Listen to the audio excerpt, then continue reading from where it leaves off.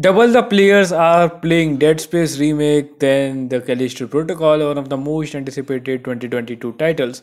It was always expected, as both of the games have similarities but they differ in only one thing the optimization and the support.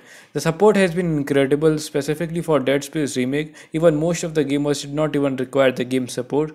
That's how optimized the game was. Everybody from a GTX 1650 user to a RTX 3060 user, everybody everybody is happy and completely satisfied by the optimizations of Dead Space remake. Given the fact that Dead Space was already a brilliant masterpiece, and same goes with the Dead Space remake. It seems that the developers have literally incorporated their hearts and soul into the game by optimizing optimizing it even for the GPU which was not even recommended in the minimum system requirements. This is a very big thing. The game runs almost stutter free without any lags and issues even while the incorporation of Denuvo is not mentioned by EA although the game literally has Denuvo anti-tamper DRM but still the game performance is quite manageable and the game does not shows as if it is having any sort of DRM this is a very big news that games can be optimized greatly if the efforts have been put you know this is a thing. So i hope that such games will gonna be coming in the future such optimization will be done in the aaa titles in the future.